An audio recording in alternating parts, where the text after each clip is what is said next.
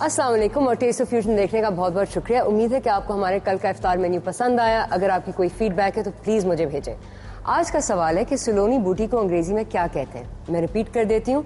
सलोनी बूटी को अंग्रेज़ी में क्या कहते हैं? इसका जवाब बजरिया एस एम एस भेजें और एक खूबसूरत गिफ्ट हैम्पर जीतें। चलिए जी, आज के मेन्यू के ऊपर बात करते हैं। सबसे पहली चीज़ जो मेन्यू पे है, वो है roast chilli chicken roast chicken तो है, लेकिन हम इसके ऊपर रोस्टेड चिलीज कूट कर डालेंगे और इसको अवन में पकाएँगे। दूसरी डिश है इमली वाले आलू। हम आलू को पकाएँगे, उसमें इमली का पानी डालेंगे और ऊपर से मैं थोड़ा सा समोसा पट्टी फ्राई करके उसके ऊपर तोड़ूँगी। ये बहुत मज़े की डिश है और सब लोगों को बहुत पसंद आती है। और डिजर्ट में आज बनेगी मैंगो आइसक्रीम और इस मैंगो आइसक्रीम की ये खास बात है कि आपको आम को पकाने की ज़रूरत नहीं होगी, ये बहुत जल्दी बनती है और ये आप पहले बना दें दिन में और इफ्तारी के टाइम पे सर्व कर लें। और ड्रिंक आज होगी हमारी एक आड़ू फ़िश जो बहुत ही रिफ्रेशिंग विटामिन सी से भरपूर वाली ड्रिंक होगी। चलिए जी, शुरू करते हैं और सबसे पहले मैंगो आइसक्रीम के साथ, क्योंकि इसमें सबसे ज़्यादा टाइम लगेगा सेटिंग के लिए। जैसे मैंने कहा, इस मैंगो आइसक्रीम को हम पकाएँगे नहीं। आप ब्लेंडर को रख लें और उसमें एक आम डाल दें जो चॉप करके आपने रखा हुआ हो। अगर कोई ओवर राइप मैंगोज हो आपके पास, वो भी इसमें जा सकते हैं। आप मैंगो की चटनी भी बना सकते हैं, लेकिन ये आइसक्रीम अगर आप बनाएँगे, ये सब लोगों को बहुत पसंद है खासकर बच्चों को। अच्छा जी मैंगो को ब्लेंडर में डालकर इसके ऊपर आप आधा पैकेट क्रीम डाल दें।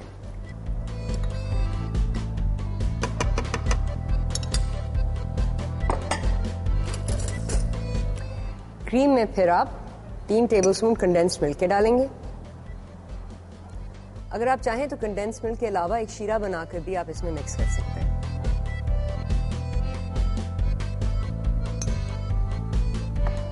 नेक्स्ट स्टेप एक टेबलस्पून शहद।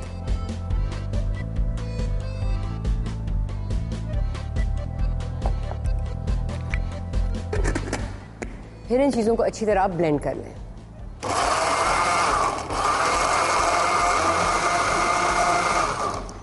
एक दफ़ा आपको एक स्मूथ मिक्स मिल जाए। फिर आप एक बोल लें जिसमें आपने प्लास्टिक लगाया हुआ हो और इस मिक्सचर को उसमें निकाल लें।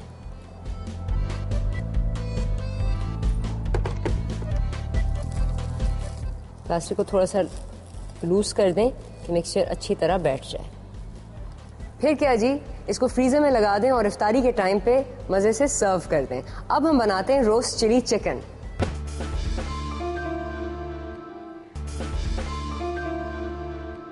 ये जो हमारी नेक्स्ट डिश है, जो रोस्ट चिली चिकन है बहुत ही मज़ेदार डिश है। इसमें सबसे पहले आपको ड्राइड रेड चिलीज की ज़रूरत है। फिर फ्राइंग पैन को आप तेज़ आँच पे रख दें और फ्राइंग पैन में आप तीन टेबलस्पून जैतून के तेल के डाल दें।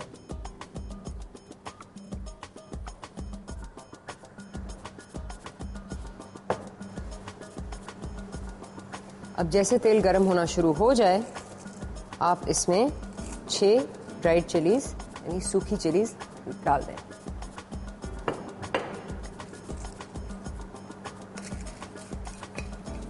अब आपने चिलीज को थोड़ा सा पकाना है और ये बहुत ही जल्द अपना रंग बदलना शुरू कर देती हैं। तो जल्दी से आप पैन में एक चुटकी नमक डाल दें और एक चुटकी ज़ीरा और फिर ऊपर से एक छोटी चुटकी ग्राउंड दालचीनी।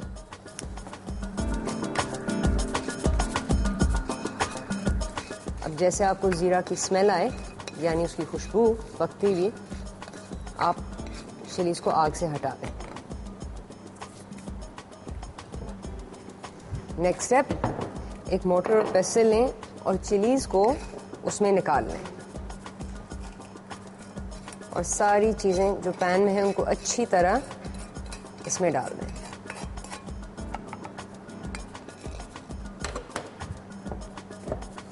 फिर आप इनको अच्छी तरह ग्राइंड करें। इतना भी नहीं कि ये पेस्ट बन जाए, बस आपने चिलीज को तोड़ना है।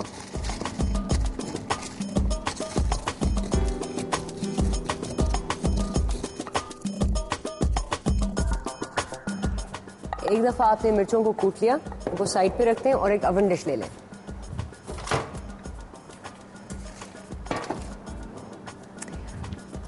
अब अवन डिश में आप एक के एन एन होल चिकन विदाउट स्किन को निकाल लें।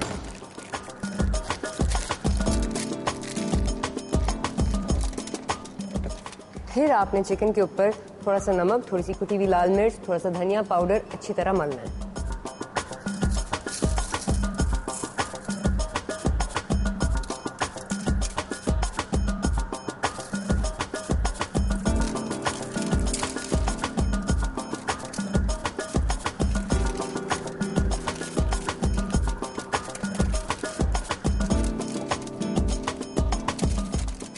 कोशिश करें कि चिकन के ऊपर मसाले अच्छी तरह हर जगह लगे रहें।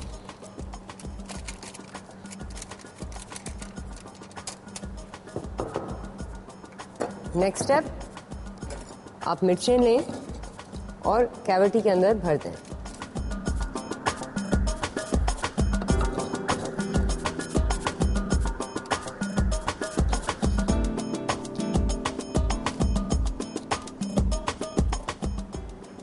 इसी के साथ थोड़ी सी फ्यूजन आप थोड़ा सा आड़ू लें और उसको भी कैविटी में डाल दें। अंदर से फिर एक चिली फ्रूट का फ्लेवर आएगा।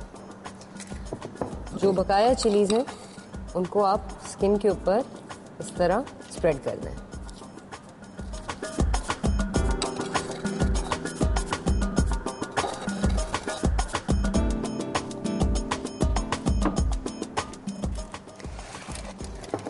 चलिए जी, अगला स्टेप ये होगा कि आप दो पीस लहसुन लें और उनको बारीक स्लाइस कर लें।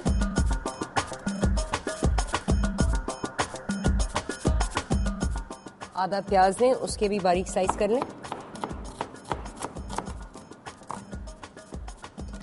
और इन दोनों चीज़ों को चिकन के इर्द गिर्द इस तरह बिछा दें। फिर ऊपर से दो टेबलस्पून जैतून के तेल के आप चिकन के ऊपर इस तरह स्प्रिंकल कर दें। और दो टेबलस्पून सफ़ेद सिरका फिर आप चिकन को ओवन में 250 डिग्री सेंटीग्रेड पे 30 मिनट के लिए रख दें।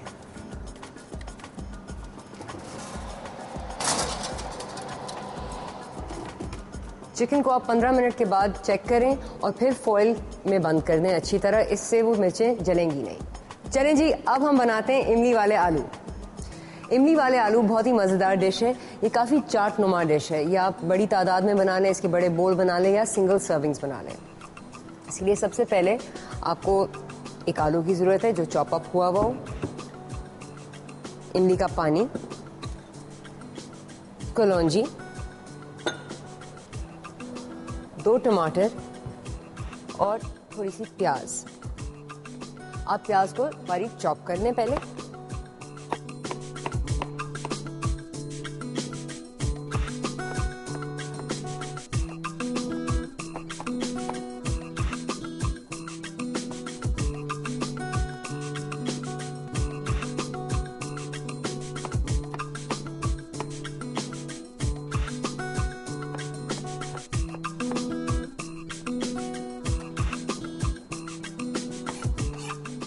प्याज को चॉप करके आप टमाटर के भी पीस कर लें।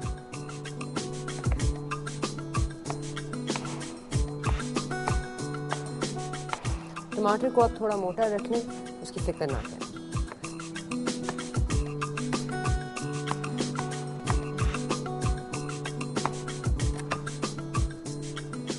टमाटर चॉप करने के बाद आप दो हरी मिर्चें भी बोर्ड पे रख लें।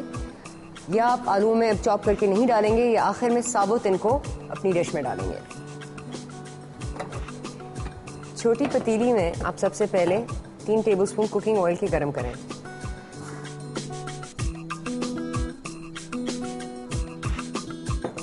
फिर कुकिंग ऑयल में आप प्याज डाल दें।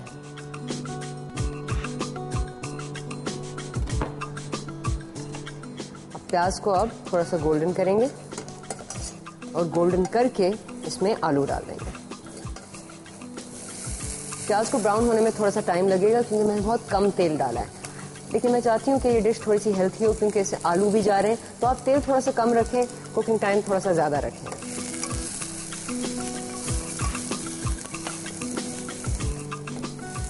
चलें जी, अब प्याज थोड़े से गोल्डन होना शुरू हो गए। इस पॉइंट पे मैं आलू को पैन में डाल देंगे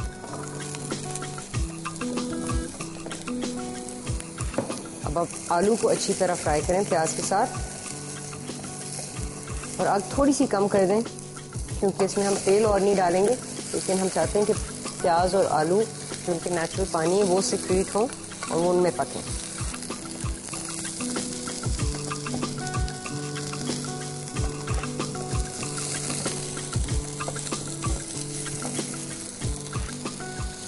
आलू और प्याज को एक साथ ढाई मिनट के लिए फ्राई करने के बाद आप पैन में तीन टेबलस्पून इमली का पानी डाल दें।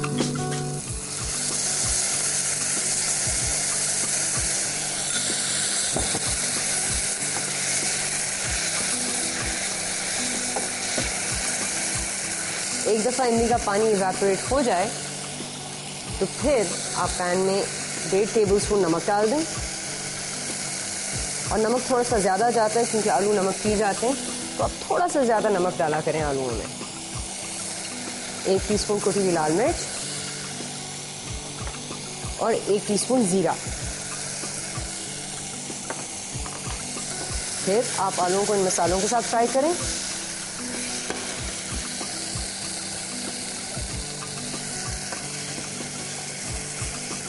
और 30 सेकंड बाद तीन टेबलस्पून इमली के पानी का और डाल दें।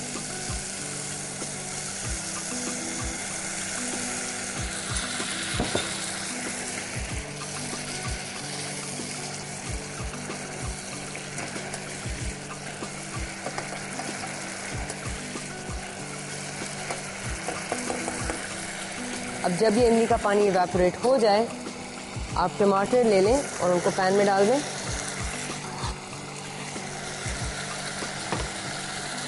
और फिर ऊपर से छः टेबल स्पून इमली के पानी का डाल दें। यानी इस पूरी डिश में आप एक कप इमली पानी डालेंगे।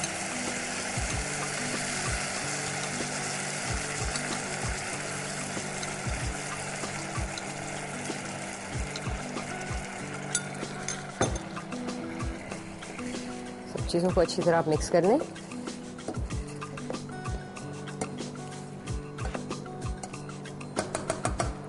और फिर पतीली पर ढकना दे दें, क्योंकि आपने इसको कोई आठ मिनट के लिए पकाना है जब तक ये सारा पानी एवेपोरेट हो जाए। एक दफ़ा पानी एवेपोरेट हो गया, आप और इमली का पानी इसमें डालेंगे और जब तक आलू नरम ना हो जाए। अच्छा जी, पाँच मिनट हो गए और इमली का पानी बिल्कुल सूख गया। टमाटर भी गल गए। अब इस पॉइंट पे हम आधी टीस्पून कलौंजी की पैन में डालेंगे।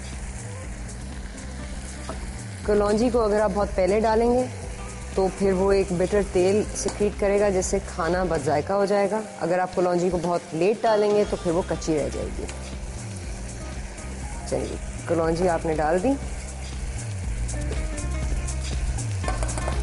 नेक्स्ट आप छः टेबल स्पून इमली के पानी का और डाल दें पैन में।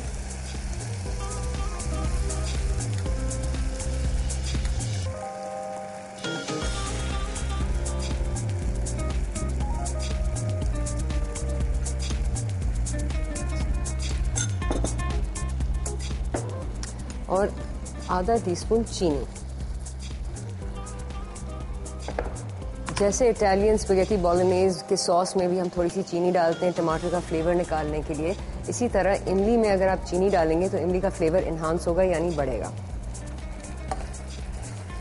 इसको अच्छी तरह मिक्स करें।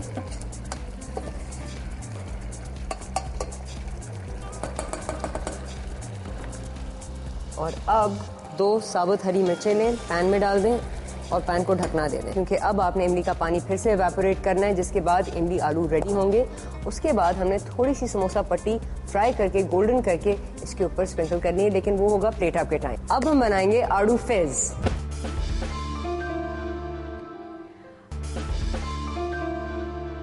अच्छा जी आड़ू फिज बहुत ही सिंपल ड्रिंक है। आप आड़ू को ब्लेंडर में निकाल लें। और इस आड़ू फिज में मैं आज एक क्लियर मीठा एरिएटेड पानी डाल रही हूँ। आप सोडा भी इस्तेमाल कर सकते हैं, अगर आप चाहें। और ऊपर से आधा टेबल स्पून चीनी।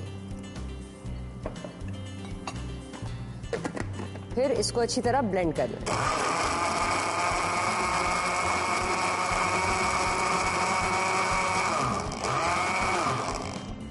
चले जी, ये तो डन हो गई।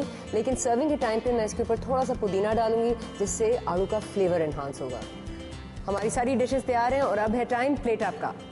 अब अक्सर ये होता है कि समोसा पट्टी फ्रिज में रह जाती है और वो सख्त हो जाती है। आपने इसको सही कवर नहीं किया होता है तो फिर ये फेंकी जाती है।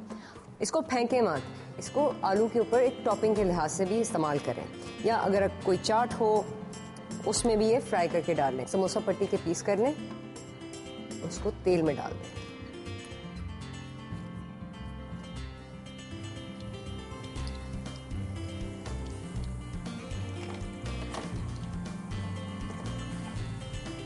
अब आपने सिर्फ़ इसको थोड़ा सा गोल्डन करना है और फिर प्लेट में निकाल दें और एंड में आलू के ऊपर इस तरह क्रश करके स्प्रिंकल कर दें। एक दफ़ा समोसा पट्टी गोल्डन ब्राउन हो जाए, आप उसको प्लेट में निकाल लें।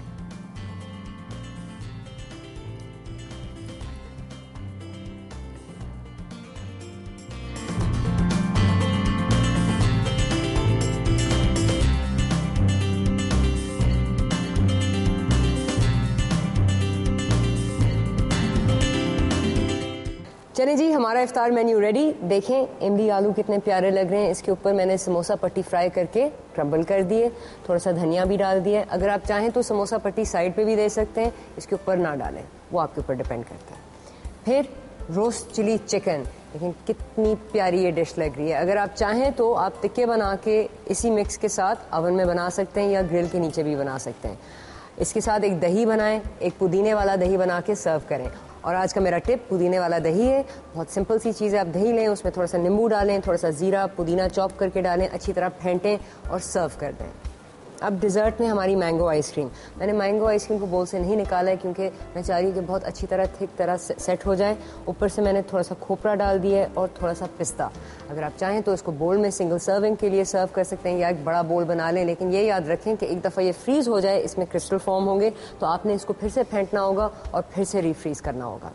और आखिर में मैं हमारा आड़ू फिज इफ्तारी टाइम के लिए एक बहुत ही रिफ्रेशिंग और विटामिन सी से भरपूर ड्रिंक तो चलें जी ये हुआ आज का मेन्यू। उस सवाल का जवाब ज़रूर भेजें और एक गिफ्ट हैम्पर जीतने की कोशिश करें। अब हमारी मुलाकात होगी कल। खुदाफिज